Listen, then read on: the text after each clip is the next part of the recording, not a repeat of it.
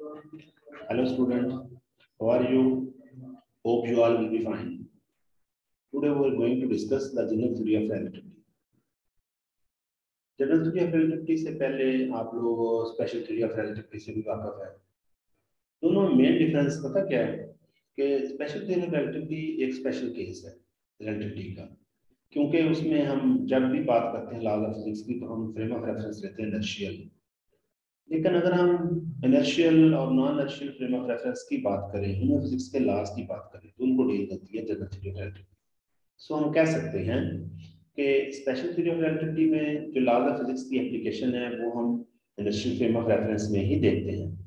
जबकि हर किस्म के फ्रेम ऑफ़ रेफरेंस में अगर हम लॉज ऑफ़ फिजिक्स की एप्लीकेशन देखते हैं तो वो जनरल थ्योरी ऑफ़ रिलेटिविटी है। ऐसे भी आइंस्टाइन के जो पास्टुलेट है general special theory of relativity उसमें क्लियरली उसने कहा है कि लॉज ऑफ़ फिजिक्स जो हैं वो बिल्कुल एक जैसे हैं, हर इनर्शियल फ्रेम ऑफ़ रेफरेंस में लेकिन क्या यही लॉज एक जैसे हैं हर किस्म के फ्रेम ऑफ़ रेफरेंस के लिए? देखो, अगर दो इनर्शियल फ्रेम ऑफ़ रेफरेंस एक रेस्ट में और एक मूव कर रहे तो रेस्ट में जो इनर्शियल फ्रेम है या मूविंग इनर्शियल फ्रेम अगर इन दोनों में लॉज ऑफ़ फिजिक्स एक जैसे हैं तो फिर वो फ्रेम ऑफ़ रेफरेंस जो नॉन इनर्शियल है, उनमें लॉज ऑफ़ फिजिक्स किस तरह होंगे। ये वो बेसिक चीज़ है जिस पर general theory of relativity base करती है।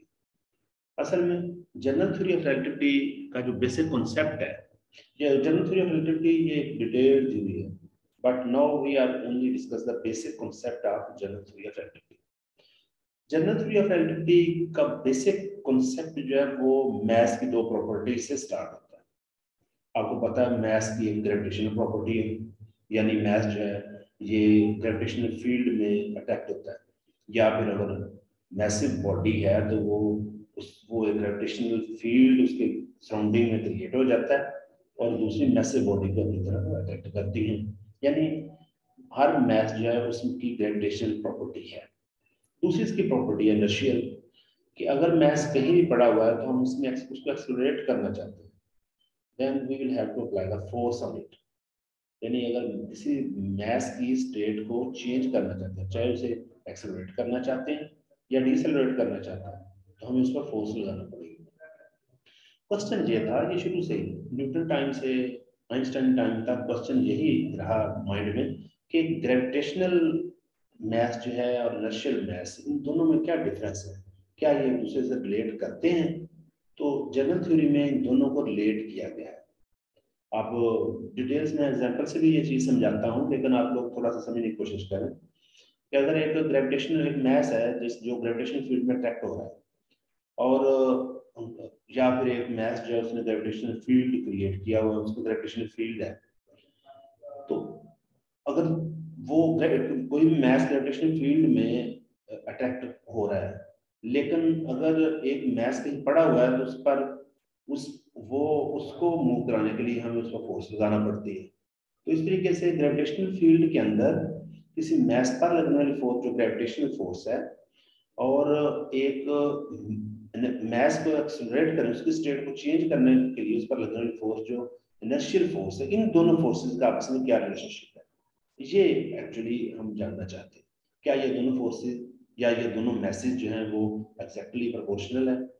या फिर इनमें कोई डिफरेंस है। तो आप देखें, अगर हम ग्रेविटेशनल ये इनर्शियल फोर्स अगर हम इसके लिए, इसको समझने के लिए, हम फ्रेम ऑफ़ रेफरेंस लेते हैं दो। एक frame of reference gravitational field में, और उसके अंदर कोई भी मैस है। तो ज़ाहिर है, वो मैस जो है, वो उस ग्रेविटेशनल फ़ील्ड में अट्रैक्ट होगा toward the that mass which the gravitational field और दूसरी तरफ़ अगर एक और नशल एक फ्रेम ऑफ़ रेफरेंस है, जो एक्सलोरेट जिस पर एक्स फोर्स लग रही है और वो एक्सलोरेट हो रहा है, यानी वो वो नशल केस है। आप दोनों को समझ सकते हैं। एक फ्रेम ऑफ़ रेफरेंस किसी ग्रेविटेशनल फ़ील्ड में है। आप ऐसे समझ लें कि ज़मीन पर जैसे एक फ्रेम ऑफ़ रेफरेंस पड़ा है। तो उसके अंदर उसके अंदर जो भी मैस है, वो एक ग्रेविटेशनल इफ़ेक्ट जो है ग्रेविटेशनल अट्रैक्शन फील करेगा।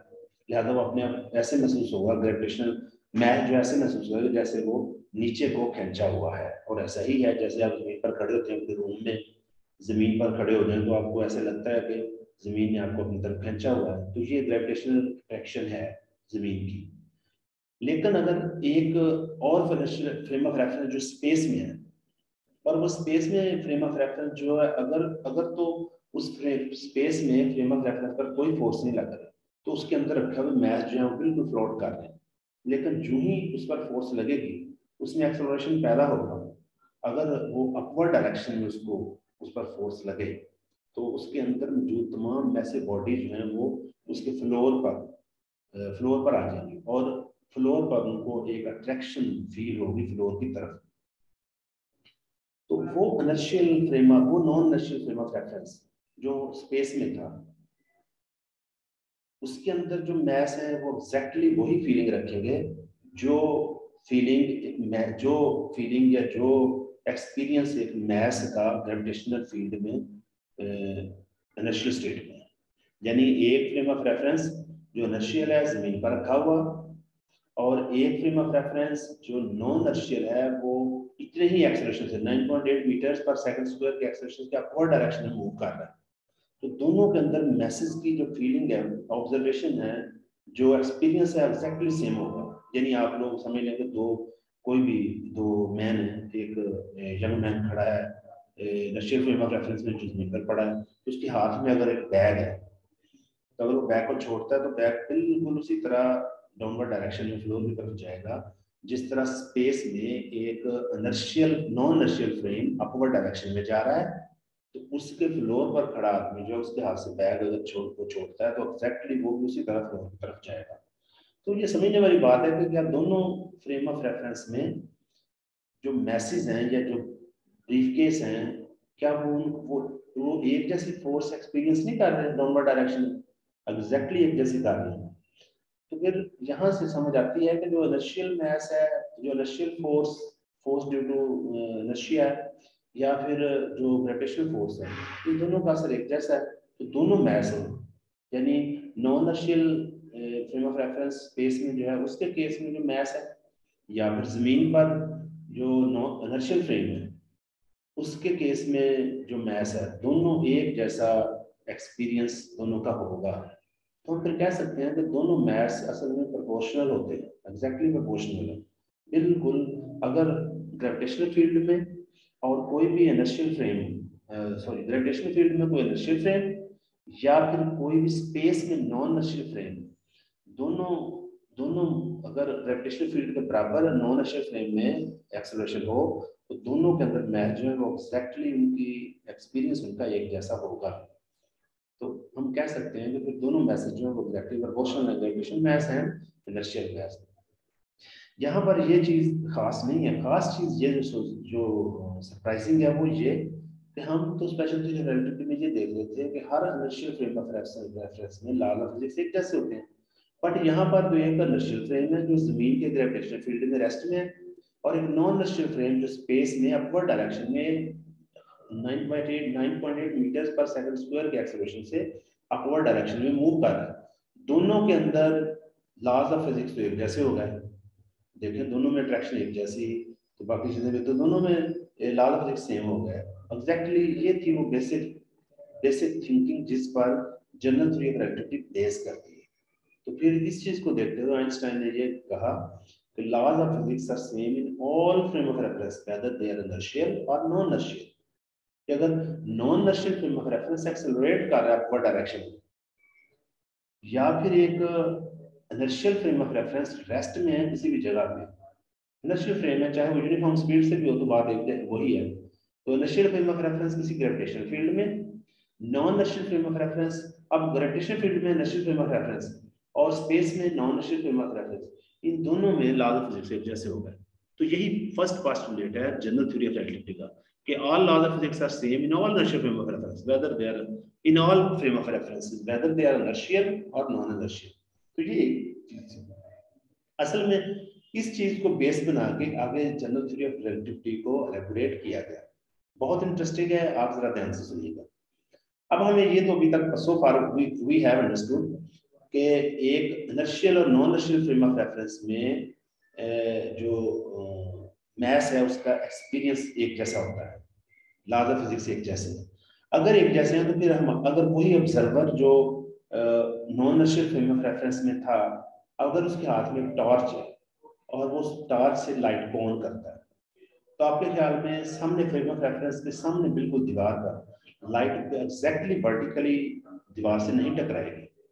क्योंकि फ्रेम ऑफ़ रेफरेंस अगर अपवर्ड डायरेक्शन में मूव कर रहा है तो लाइट सामने बिल्कुल टॉर्च के जो सामने दीवार पर फ्रेम ऑफ़ रेफरेंस की फ्रेम ऑफ़ रेफरेंस में सामने दीवार पर जो स्पॉट है, वहाँ पर स्ट्राइक नहीं करेगी, बल्कि उससे नीचे करेगी। क्योंकि लाइट को अगर ऑब्जर्वर से फ्रेम ऑफ़ रेफरेंस की दीवार पर पहुँचने के लिए कुछ टाइम चाहिए, यकीनन चाहिए। तो जितना टाइम चलेगा उतनी देर में फ्रेम ऑफ़ रेफरेंस ऊपर जा चुका होगा। तो लाइट थोड़ा नीचे जाके स्ट्राइक करेगी। इसका मतलब ये हुआ कि लाइट बेंड हो गई। लाइट बेंड हो जाएगी। लेकिन अगर फ्रेम ऑफ़ रेफरेंस की जो का जो एक्सलोरेशन है वो बढ़ाते जाएँगे तो लाइट की बेंडिंग भी बढ़ती जाएगी। और अगर हम फ्रेम ऑफ़ रेफरेंस का एक्सलेशन इंक्रीज करते हैं तो हम उस फ्रेम ऑफ़ रेफरेंस को कंपेयर कर सकते हैं उस ग्रेविटेशनल फ़ील्ड में उस ग्रेविटेशनल फ़ील्ड के इनर्शियल फ्रेम ऑफ़ रेफरेंस से जिसकी ग्रेविटेशनल अट्रैक्शन बहुत ज़्यादा है।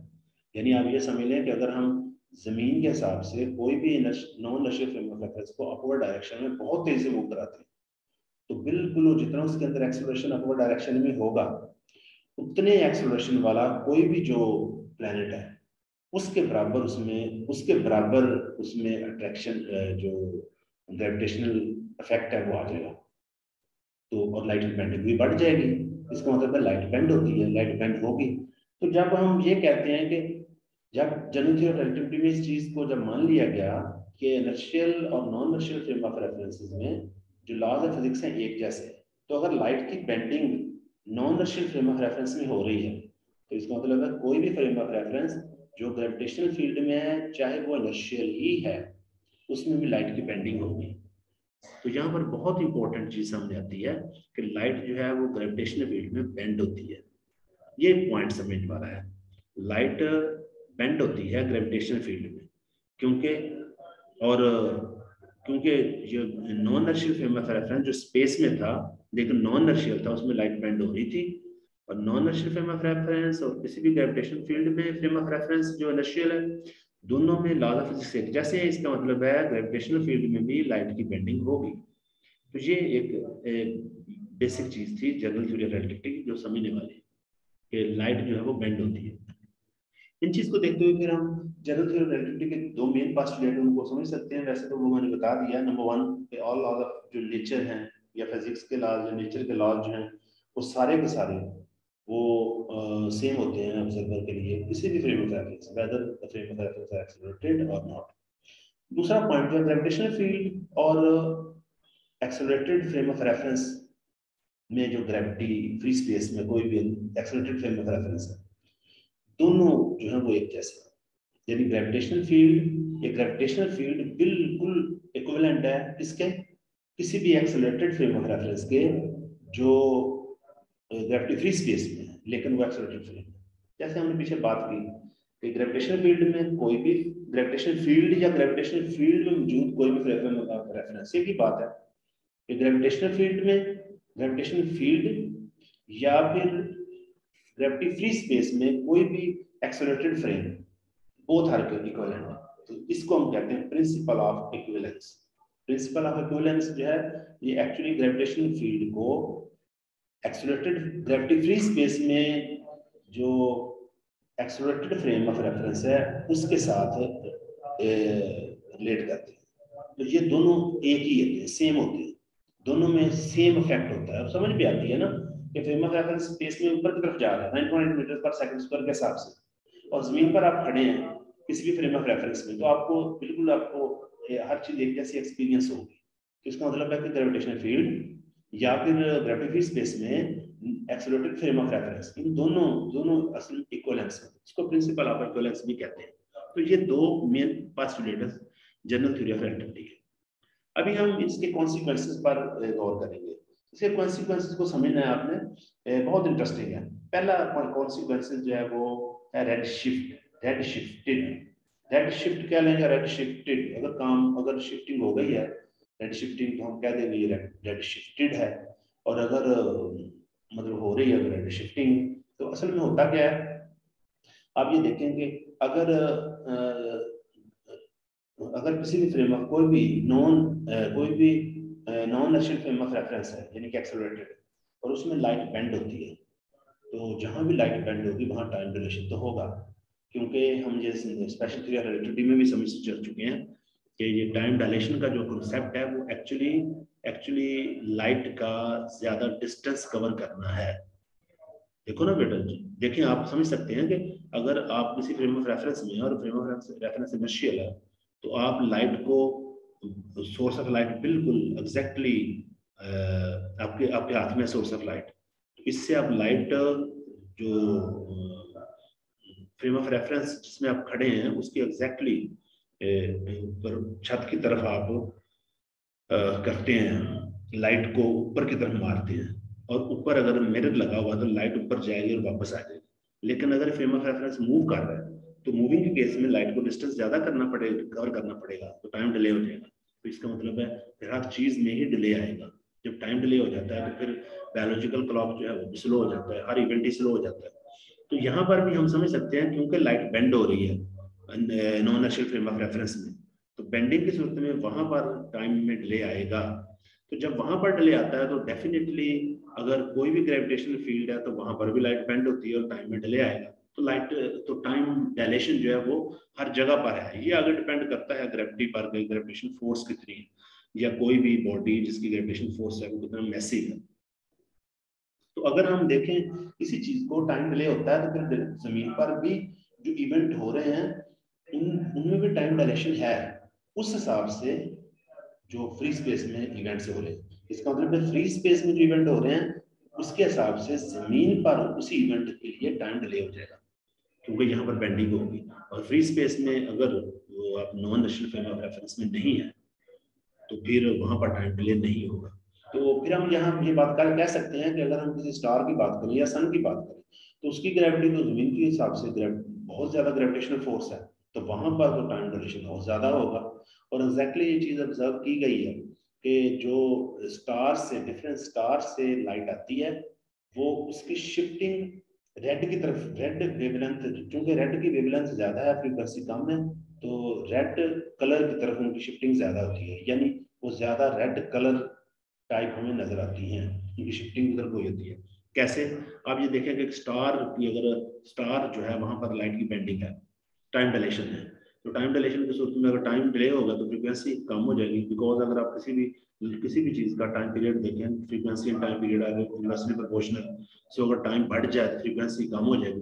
फ्रीक्वेंसी कम होगी तो वेवलेंथ बढ़ जाएगी। वेवलेंथ बढ़ जाएगी तो वही जो कोई भी लाइट सोर्स है, या किसी लाइट सोर्स से निकलने वाली जो लाइट है, उसकी शिफ्टिंग किधर होगी? रेड की तरफ़। तो इसको हम कहते हैं red shifted this is one of the main consequence of special of general theory of relativity general theory of relativity में रेड शिफ्टिंग होती है, यानी जो रेडिएशन इमिट होती है, उनकी फ्रीक्वेंसी लोअर फ्रीक्वेंसी की तरफ़ शिफ्ट होती है। तो आप ये ऐसे समझ सकते हैं कि अगर आपने दो सोर्स हैं जो एग्जैक्टली सेम फ्रीक्वेंसी की रेडिएशन इमिट करते हैं तो अगर एक सोर्स जो है वो फ्री स्पेस में है और अगर एक सोर्स दूसरा सोर्स जो है वो एग्जैक्टली किसी स्टार की ग्रेविटेशन फ़ील्ड में। तो जो किसी स्टार के ग्रेविटेशन फ़ील्ड में सोर्स था, उससे निकलने वाली लाइट जो है, उसकी शिफ्टिंग रेड की तरफ़ होगी, क्योंकि उसकी फ्रीक्वेंसी कम हो जाएगी due to time dilation number two number two ये है स्पेस टाइम कर्वेचर जब यहाँ पर फिर अगर लाइट की शिफ्टिंग होती है तो फिर आइंस्टाइन ने अपनी जनरल थ्योरी रिलेटिविटी में फिर हमें ये स्पेस का जो कॉन्सेप्ट दिया है ग्रेविटेशन फ़ील्ड का वो ग्रेविटी ग्रेविटी का कॉन्सेप्ट है उसको रिप्लेस कर दिया स्पेस टाइम के साथ। स्पेस टाइम के, यानी पूरी यूनिवर्स जो है, इसमें अगर हम ये मेन जो कॉस्मोलॉजिकल ऑब्जेक्ट्स हैं, जैसे स्टार सन अर्थ प्लैनेट्स वगैरह, इनको निकाल दें तो बाकी जो फ्री स्पेस है, उसको स्पेस टाइम का नाम दिया गया। क्योंकि आप उसमें किसी भी तरह मूव करते हैं तो अपनी पोजिशन में चेंज आएगी और टाइम भी चेंज आएगी। तो वो हर जगह, हर कोई भी पॉइंट जो है, वो इस इस पूरे यूनिवर्स में स्पेस टाइम को रिप्रेजेंट करता है। तो इस स्पेस टाइम को उसने जस्ट लाइक फैब्रिक एक एग्जाम्पलेंस है कि जस्ट लाइक रबर शीट पूरा स्पेस टाइम जो है, पूरी स्पेस जो है स्पेस की बजाय हम स्पेस टाइम कहें तो बेहतर है क्योंकि इसके अंदर हम किसी भी चीज़ की बात करते हैं। बॉडीज जो मूव कर रही हैं, वो टाइम के हिसाब से मूवमेंट है। तो अगर हम स्पेस के अंदर किसी भी तरफ़ जाते हैं तो हमारी पोजिशन के साथ साथ टाइम भी चेंज आएगी। उस हवाले से देखा जाए तो ये एक स्पेस टाइम है। तो इस स्पेस टाइम को स्पेस टाइम को आइंस्टाइन ने एक फैब्रिक से रिजेंबलेंस दी है, यानी rubber sheet rubber sheet type materials rubber sheet sheet of rubber से इसको रिजेंबलेंस दी है। तो अगर उस स्पेस टाइम में जहाँ जहाँ कॉस्मोलॉजिकल ऑब्जेक्ट पड़े हुए हैं तो अगर ये फैब्रिक लाइक मटेरियल स्पेस है तो वहाँ जहाँ पर कोई भी ऑब्जेक्ट पड़ा हुआ है, जैसे ज़मीन है तो उसकी ज़मीन की ग्रेविटी कम है, ज़मीन का मैस कम है, लिहाजा वहाँ पर थोड़ा कर्वेचर तो आ जाएगा, इसमें स्पेस टाइम में।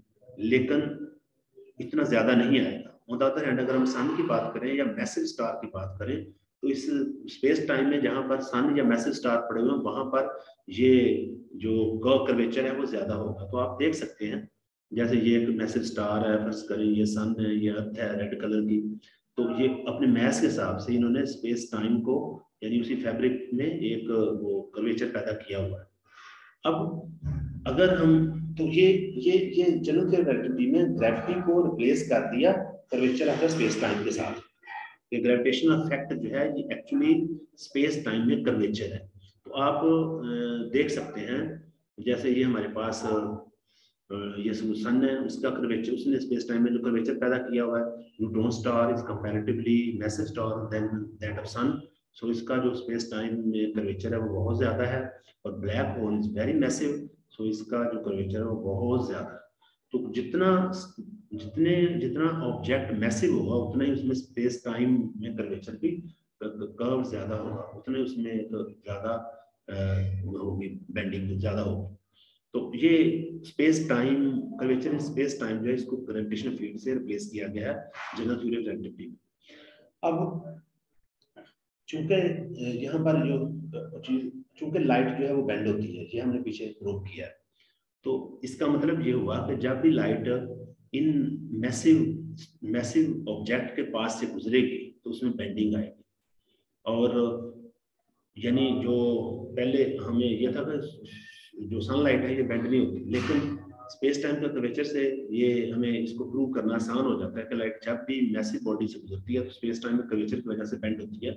और वैसे भी हमने ये पीछे प्रूव किया है कि लाइट जो है उसमें बेंडिंग आती है ड्यू टू ग्रेविटेशनल फ़ील्ड तो ये बेंडिंग ऑफ़ लाइट की वजह से ये हमें ग्रेविटेशनल लेंसिंग जो है वो हम ऑब्ज़र्व कर सकते हैं स्पेस में। जैसे आप लोग देखो ये राइट फिगर जो राइट साइड पे दी हुई इसमें ये दरमियान में एक, कोई भी स्टार या सन है और उसके सराउंडिंग में हमें दूसरे और ब्राइट स्टार्स नज़र आ रहे हैं। तो ये एक लेंसिंग होगी, यानी एक ही जगह पर डिफरेंट स्टार इकट्ठे नज़र आते हैं।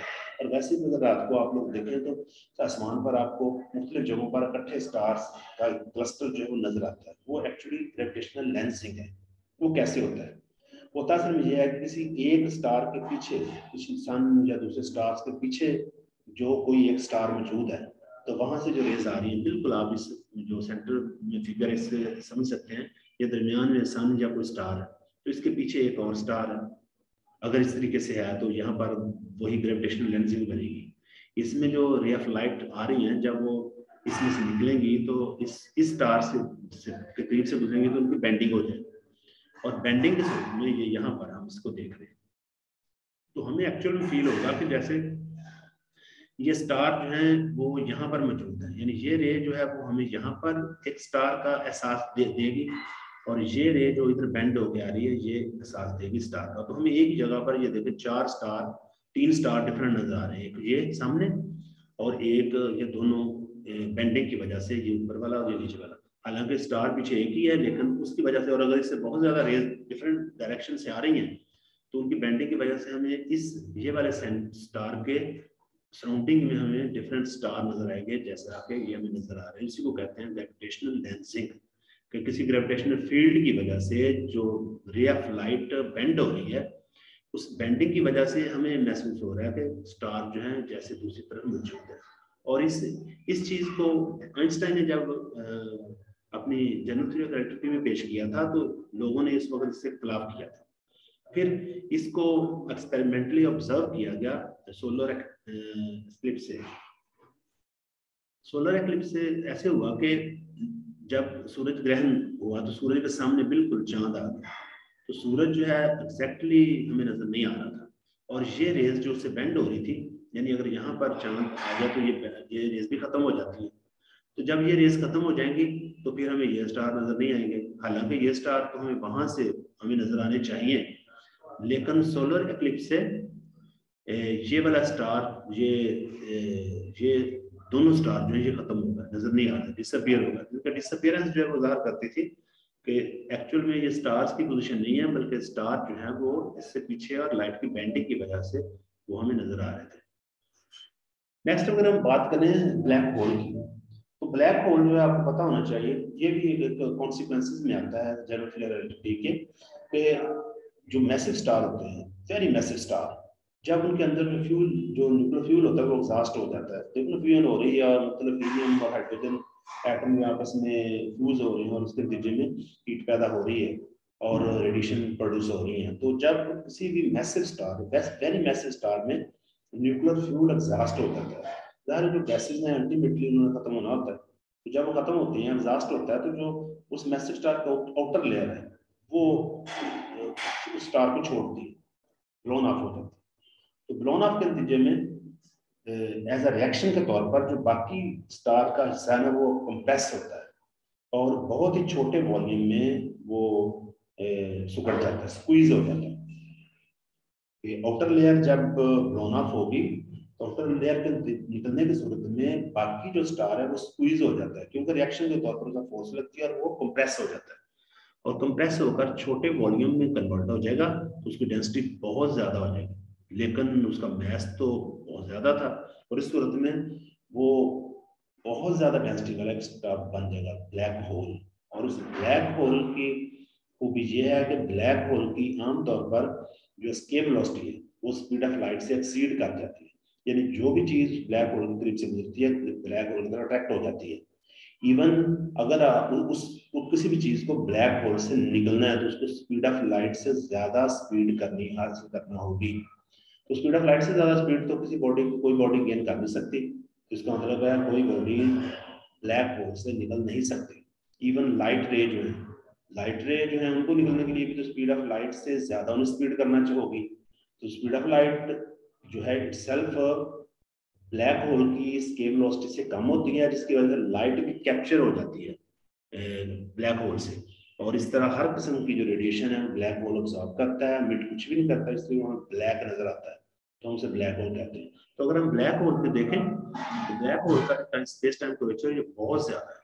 इसका मतलब है कि कोई भी चीज़ जो ब्लैक होल की तरफ़ जाती है वो वापस नहीं आ सकती।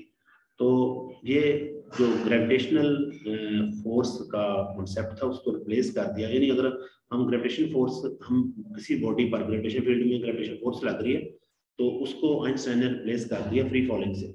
बिल्कुल इसी तरह जैसे फ्रेम ऑफ़ रेफरेंस जो है वो डाउनवर्ड मूव कर रहा हो तो आप किसी फ्रेम ऑफ़ रेफरेंस में और वो फ्रेम ऑफ़ रेफरेंस एक्सीलरेट कर रहा है डाउनवर्ड डायरेक्शन में। तो आप उनकी छत के साथ लग जाएँगे और नीचे को चलते जाएँगे ज़बरदस्ती नीचे को आ जाएँगे तो आप वो फ्री फॉलिंग है। एग्जैक्टली इसी तरह, ये जितने भी कॉस्मोलॉजिकल ऑब्जेक्ट हैं, इनके जब स्पेस टाइम में इनके पास करीब से आते हैं तो हमें वो फ्री फॉलिंग का एहसास होता है। तो वो free falling actually gravitational pull है। ये जनरल थ्योरी ऑफ़ रिलेटिविटी के कुछ कॉन्सिक्वेंसेस थे, और ये वेरी बेसिक कॉन्सेप्ट था। Thank you very much